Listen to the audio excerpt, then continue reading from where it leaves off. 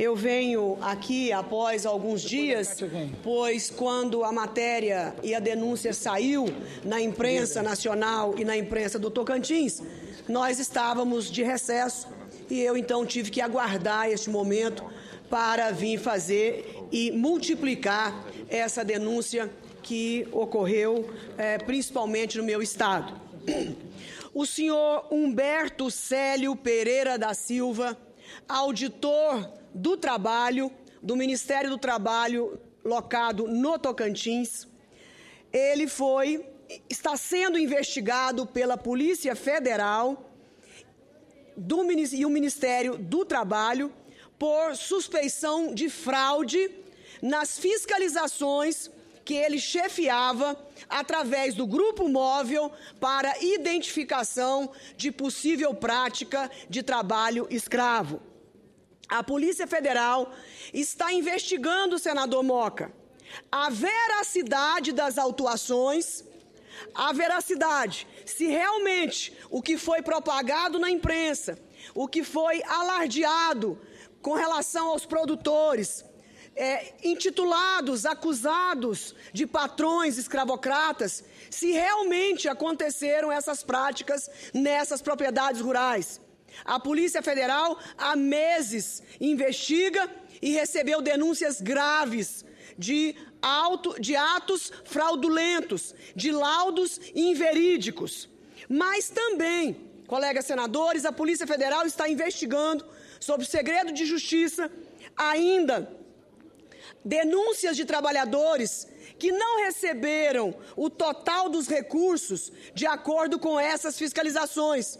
Trabalhadores que deveriam receber X em recursos e receberam a menos. E a investigação é exatamente se o senhor Humberto, auditor do trabalho, Humberto Célio Pereira da Silva, que praticou o terror durante anos e anos na região norte do país, acusando produtores rurais, desempregando trabalhadores rurais com a prática do trabalho escravo. A Polícia Federal fez busca e apreensão na sua casa. A Polícia Federal fez busca e apreensão no seu escritório, na Delegacia Regional do Trabalho. E na sua casa encontrou espingardas, revólver, pistola e munições, sem nenhuma autorização, sem nenhum registro. Pelo que me consta, parece que de todo o arsenal que ele diz colecionar, apenas uma arma teria registro.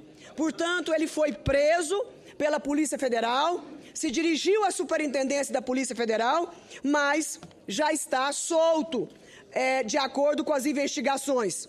O estranho é que ele não foi afastado das suas funções, pelo menos até que as investigações sejam finalizadas.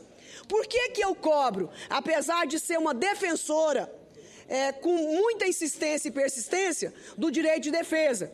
Mas eu gostaria que acontecesse com ele o mesmo que ele faz com os patrões, com os proprietários rurais deste país aonde ele termina a fiscalização, já levando junto com ele alguém da imprensa local para que divulgue e desmoralize publicamente uma família sem direito à defesa.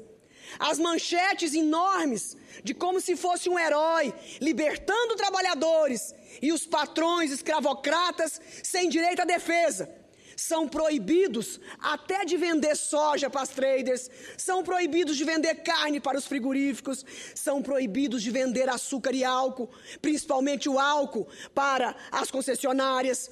São punidos sem ao menos ter sido condenado em primeira instância. Agora, no caso do auditor, é segredo de justiça. Ele tem todos os direitos à defesa. Mas os nossos produtores rurais são acusados por esse senhor que está sendo investigado pela PF por corrupção, por desvio dos recursos dos trabalhadores, por ter feito laudos inverídicos com relação às fazendas que investigou. Nada, por enquanto, pode acontecer. Imagine, porque é segredo de justiça. Mas por que que com relação aos nossos patrões, aos nossos produtores rurais, por que também não tem e não vale o segredo de justiça? Eu digo que a lei que vale para Chico tem que valer para Francisco. A lei tem que valer para todos. Assim que o Estado de Direito é de todos os brasileiros. E se tem uma coisa única que une brancos e negros, pardos, índios, pobres e ricos, homens e mulheres, é a lei. A lei não vê cor nem raça e não vê cargo de gente importante ou menos importante. Mas nesse caso, no caso dele, de ser segredo de justiça, eu não discordo, até que prove o transitado em julgado se ele realmente foi culpado ou não, apesar de ter sido um algoz dos produtores do país, da região norte. Mas por que que ele tem o direito de propagar em toda a imprensa nacional? Eu tenho um amigo em Xambioá, nas margens do rio Araguaia, que faleceu enforcado numa corda depois da fiscalização desse cidadão bem aqui.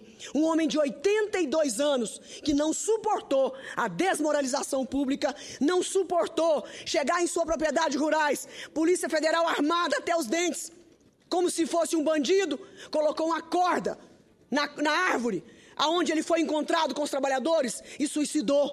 É esse cidadão aqui que achaca produtores rurais que está sendo investigado.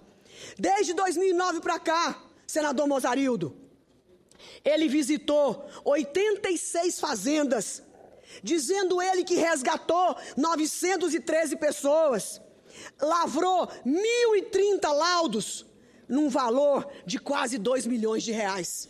Agora, será que nós vamos, ao fim e ao cabo, a sociedade brasileira, imaginando que esse herói da pátria estava a serviço dos trabalhadores, ele estava a serviço do seu próprio bolso, sem ter dó, nem piedade e nem misericórdia de ninguém, desmoralizando as pessoas. E quantas vezes eu vim a essa tribuna, durante anos do meu mandato, dizer que nós nunca aprovamos aqui a PEC do trabalho escravo, não é porque nós apoiamos aquele que pratica a escravidão nós não defendemos essas pessoas. Essas pessoas são criminosas e devem ser investigadas e presas e condenadas. Mas o que nós sempre defendemos aqui, e ainda estamos em processo de votação, é que as normas de fiscalização possam ser claras, evidentes, transparentes, para que aqueles que são culpados poderem ser penalizados de verdade, mas aqueles que estão sofrendo achaques por cidadão como este aqui, possa também ter o seu direito de defesa e o seu livre-arbítrio. O trabalho escravo, definido pela OIT, pela Organização Internacional do Trabalho, na sua Convenção 29, no seu artigo 2, diz que o trabalho escravo, em qualquer área, não simplesmente nas fazendas, mas nas indústrias, em qualquer lugar do país ou do mundo. O trabalho escravo é aquele que você cerceia o direito de ir e vir, é aquele que você obriga um cidadão, um trabalhador honesto a trabalhar sem salário. É onde você usurpa e prende um trabalhador porque ele deve na sua cantina. Tudo isso são formas de impedir o ir e vir, a liberdade de escolha do cidadão. E nós repudiamos, nós somos contra qualquer cidadão. Eu, como mulher, como mãe, como avó, como senadora da República, eu repudio esse tipo de prática que devem ser raríssimas exceções no Brasil, porque aqui neste país nós somos brasileiros de boa fé, que conhecemos a lei e que praticamos uma das maiores e melhores agriculturas do planeta Terra, invejados por toda parte do mundo. Não é possível que um setor tão moderno, que usa de tecnologia, vai escravizar seus trabalhadores, como é acusado por esse cidadão, que hoje está sentindo o gosto amargo na boca da desmoralização pública, porque essa matéria, apesar de ser segredo de justiça, ela vazou para a imprensa. Ele deve estar sentindo a vergonha de olhar para os seus filhos, olhar para sua esposa, que é juíza em Porto Nacional, e dizer o que para os seus amigos diante dessa denúncia. Quer a Deus que ele seja inocente, mas e a desmoralização pública por que está passando? A mesma que ele fez, mais de 200 pessoas, apenas famílias na minha região, serem humilhadas, serem achacadas, envergonhadas e até mesmo quebrou empresas no país, porque deixaram como a pagrisa no estado do Pará, do senador Mário Couto. Nós tivemos lá com mais sete senadores dentista, médico, trabalhadores com dois mil cartões eletrônicos. Eu nunca vi escravo com cartão eletrônico de banco. Foram todos demitidos obrigatoriamente por esse cidadão. E a empresa Pagrisa, dirigida por três jovens que estão lá morando com as suas famílias, com seus filhos, alguns anos atrás, foram desmoralizados publicamente. Quase que saíram do ramo. Tiveram prejuízos enormes porque foram proibidos de vender álcool para a Petrobras. Foram proibidos de vender álcool para as distribuidoras. E o que aconteceu com esse cidadão? A justiça divina, ela é muito maior que a justiça dos homens. E antigamente a minha avó dizia que o castigo vinha a cavalo. Pois hoje eu digo que o castigo vem por e-mail, porque o céu inteirinho, senador Moca, está informatizado. Está aqui. Está aqui o castigo desse cidadão, de tudo o que ele fez com os nossos produtores. Nós queremos reparação, nós queremos que a Polícia Federal, com a sua competência, possa terminar as investigações, porque nós queremos a suspensão de todas as fiscalizações que esse cidadão fez. Não esqueçam o nome dele: Humberto Célio Pereira da Silva, acusado pela PF de roubar dinheiro de trabalhador e de fazer laudos inverídicos, de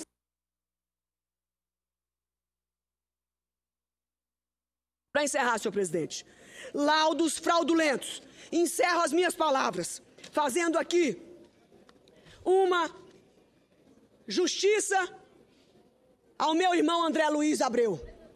Não tem um palmo de terra. Nunca teve um palmo de terra. Funcionário público concursado do Ministério Público do Trabalho, olha a ironia. Mas conseguiu economizar, comprou dois tratores, e alugou para uma empresa que foi terceirizada para uma fazenda e foi acusado e está sendo investigado por trabalho escravo. Alugou os dois tratores, nem tratorista foi junto. Ele alugou os dois tratores para a empresa que ia carregar a lenha para fazer a carvoaria. E ele frequentava a fazenda para poder medir a quilometragem e as horas do trator para ele receber o seu ganho mas porque ia à fazenda verificar o velocímetro e quantos quilômetros tinha sido usado do seu trator, esse cidadão Humberto acusou André Luiz Abreu, meu irmão de trabalho escravo, sem ter sequer um palmo de terras, sem ter sequer um trabalhador de carteira assinada. Mas da mesma forma que o meu irmão alugava dois tratores para essa fazenda, vários outros alugavam tratores. Mas imagine se os demais também foram acusados. Não, só o irmão da senadora Cátia Abreu, por perseguição desse cidadão, ele assinou o laudo, a lavratura contra este irmão. Mas também no sul do Mato Grosso, no norte do Mato Grosso, meu outro irmão, esse sim tem propriedade rural, paga seus trabalhadores em dia, foi propagado, saiu de Cuiabá especificamente para ir à fazenda do meu irmão. E chegou perguntando se a fazenda era minha, querendo tapear os trabalhadores da fazenda se me conheciam. Decretado para encontrar e perceber.